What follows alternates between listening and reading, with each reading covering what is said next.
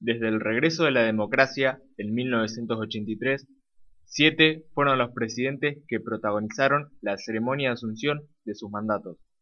Raúl Alfonsín, Carlos Menem, Fernando de la Rúa, Néstor Kirchner, Cristina Fernández Kirchner, Mauricio Macri y Alberto Fernández. Domingo Faustino Sarmiento fue el primer presidente que asumió en una ceremonia similar a la que se realiza hoy en día. El 12 de octubre de 1878 recibió el bastón de mando y la banda celeste y blanca de parte de Bartolomé Mitre, como símbolo del poder ejecutivo.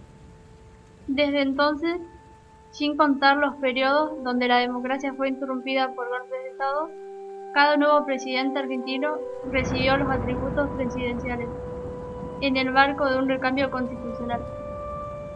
Uno de los máximos símbolos del regreso a la democracia fue la asunción de Alfonsín, el 10 de diciembre de 1983. Se eligió esa fecha debido al aniversario de la Declaración Universal de los Derechos Humanos, y desde entonces la fecha quedó marcada en la historia argentina. Si así no lo hiciere, Dios y la nación me lo demandan. El traspaso entre Alfonsín y Carlos Menem se realizó de forma adelantada el 8 de julio de 1989, debido al retiro anticipado del presidente radical.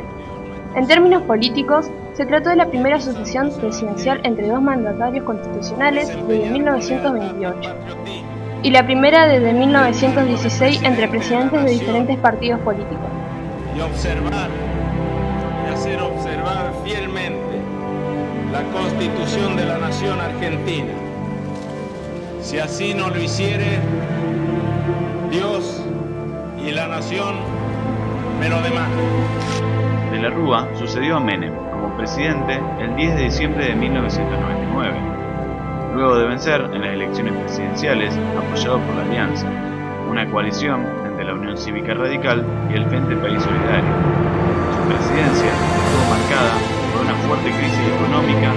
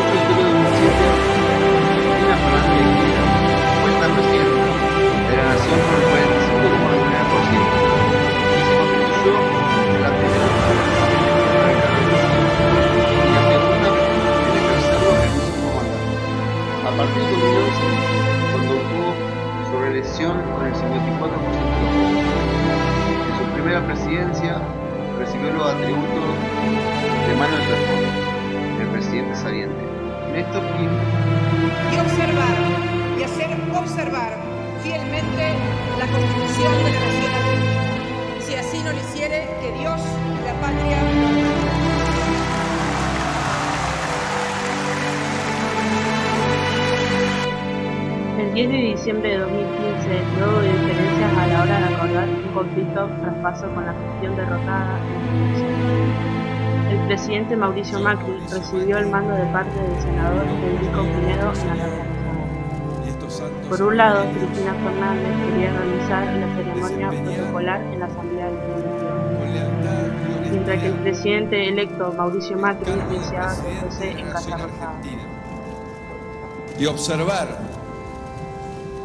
y hacer observar con fidelidad la Constitución de la Nación Argentina. Si yo no lo hiciere, que Dios y la patria me lo demanden.